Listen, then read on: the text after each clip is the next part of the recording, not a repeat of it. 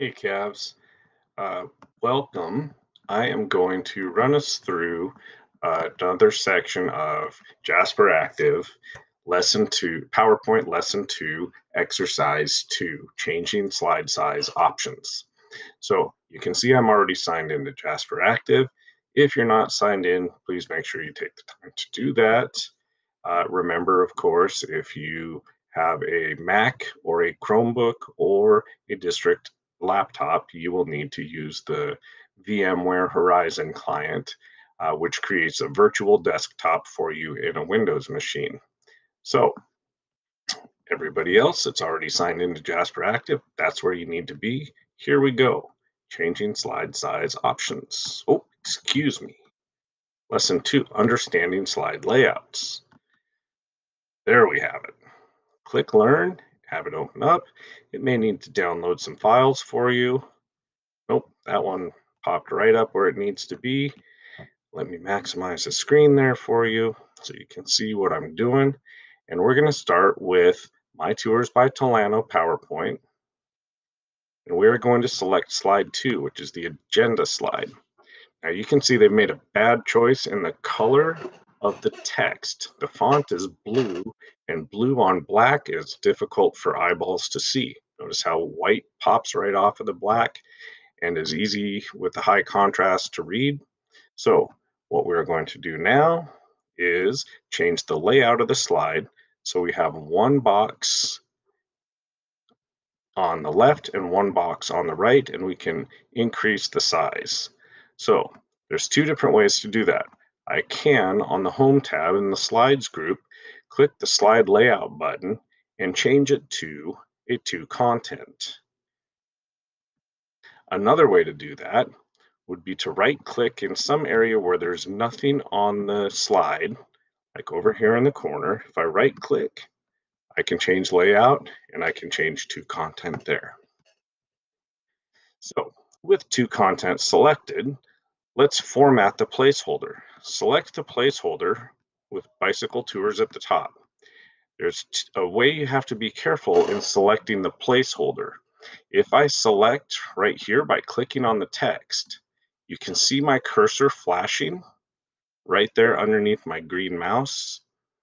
The flashing cursor means I don't have the whole placeholder selected. I've just clicked within the word tours right there. So to get the whole placeholder selected, I go to the edge border and click and that has no flashing cursor now. Anywhere in the box, I've got the whole placeholder selected. And what we're going to do is recognize the grab handles on all the corners. It's fully selected. We're going to change on the Home tab in the Drawing group. Excuse me, Home tab, Drawing group, right here, we are going to find Quick Styles.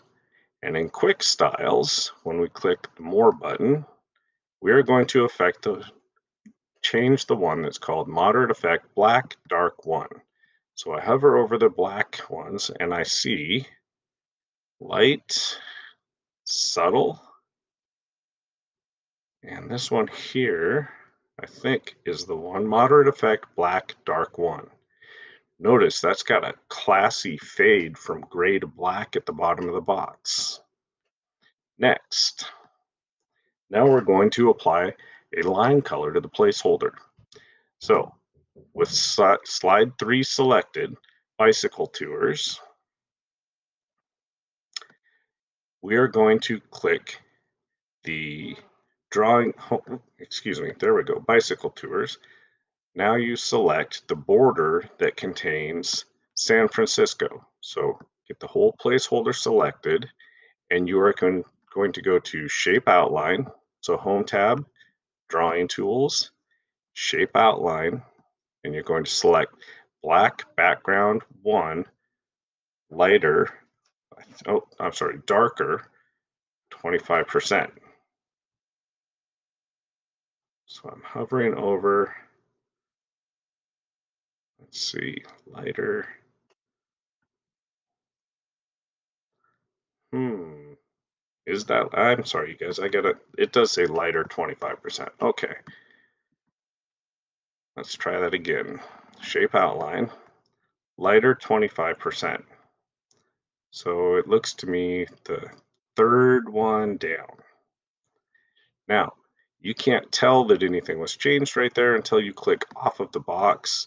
And now if I zoom in, you can see that that line for the text box is now a lighter color. So I'll zoom back out to a reasonable size and go to step number four. This says apply a background pattern to the placeholder. So on the Home tab in the drawing group, click the Format Shape. So back here, Home tab, Drawing Group, Format Shape, dialog box launcher. And that is a hard to grab little button in the bottom right corner over here. So I'll show you another place where you can see it easy. In the paragraph group, in the font group, and over in the clipboard board group, you can see the dialog box launcher. In the slides group, there isn't one. I can't see one in the drawing group until I expand it because my menus are collapsed on this monitor. So as soon as you bring that up, we get a format shape pane and we are going to expand fill and I'm going to expand line and notice I can scroll through and there's a whole bunch of things we can do now. I'm going to select pattern fill and they want us to select diagonal stripes dark downward.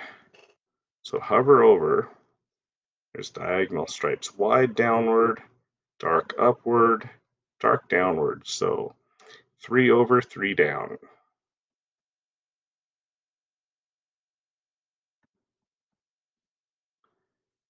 All right.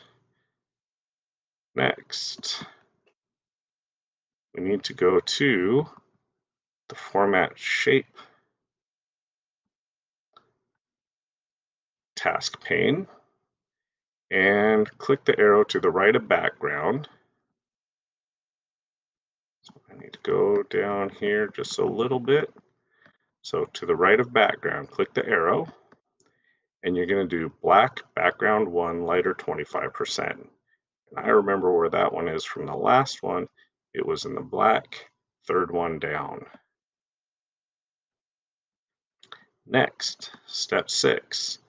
Now it says select slide three, and you're going to select the bicycle tours title placeholder. Oh no. I think based on their picture, I did the last step wrong. Let's go back and fix that. So select slide three, bicycle tours, and click the text placeholder next to San Francisco. Let's try that again.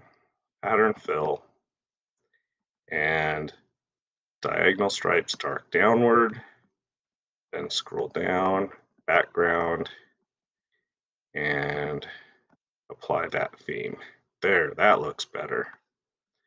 Now when we go back up here, apply background. So we need to click where it says bicycle tours to select that placeholder.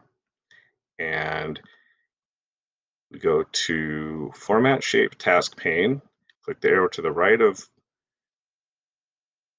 hmm, sorry, uh, we're going to go up to drawing tools, quick styles, and they want us to do moderate effect black dark one. So that should look like that. I need to go back to my messed up slide on this one and say no fill to put that back to normal. Now I can close that. Let's review our work. Make sure that slide two, the agenda slide, has the changed layout. And slide three has the San Francisco box with the gray outline and the diagonal dark downward with the moderate effect black dark one background and quick styles in bicycle tours moderate effect black dark one. If you've got all that done, you should be able to submit, submit your results, and Jasperactive should give you 100%. Thank you very much. Let's call this done.